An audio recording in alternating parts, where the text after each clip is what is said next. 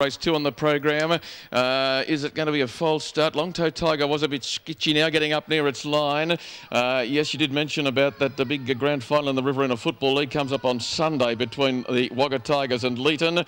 Thank you to our Sky Sports Radio uh, studio as we get them away for race two of the night out of Albury. And the well-tried Our Bulla Boy for young Cameron Hart from Junee is the first one out of the row and is going to be the early leader. Maze Rain is going up to have a little look at it on the first corner and and they're being followed through by Atara Blue Chip, who was going to be driven further forward and is going to be able to balance up on the leader's back inside of Stars for Brook early. Right around the outside, Sammy's Lux on an early forward foray and is going to be shot up around them to go and trying to place up near the leading runners. They're being followed further back by Glenn Bernaddy as Sammy's Luck was still three wide but getting in to find the chair now. When they'd settled down, he's a joker is further back on the outside being followed by Electra Star. Refused services second last. And Long Toe Tiger, who was a bit sketchy in the score up, is last of all. Sammy's Lux, three wide run. He couldn't get in and now has to be eased right back. So petrol's been used and no great success for it. Down the back they travel. Our Buller Boy is the leader and tempering off. They go through in 42 seconds the lead time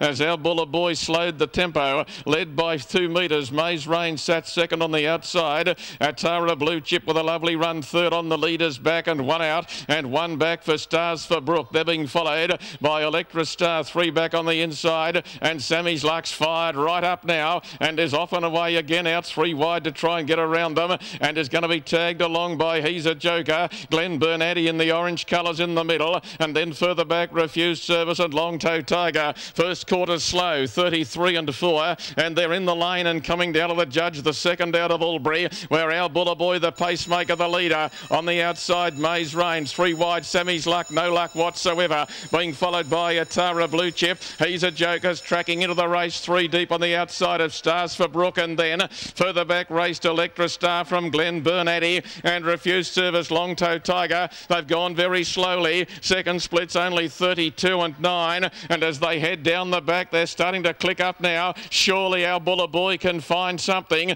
He's got a metre and a half to show. Maze Rain's just about had enough and surely Sammy's Luck's about to call it a night.